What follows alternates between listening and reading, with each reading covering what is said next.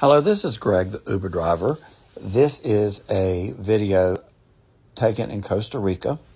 It is of the Light Blue River. This is one of my trips to Costa Rica um, with my good friend Juan.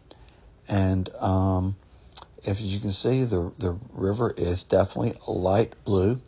Um, it's created, um, this light blue effect is created because of the minerals in the soil when they mix with the water um, give it this light blue color and and momentarily you're going to be able to see where the um, the I guess the minerals begin because you can see where the water is the regular clearish water color and then it turns to light blue. You can see here here it is there. You can see there where it's clear. Then all of a sudden it's light blue, and um, it's kind of amazing how it works and how it does. And um, the same thing from the waterfall. So certain parts of the soil there contain this mineral, and the mineral, when it mixes, um, causes the um, light blue effect. And there are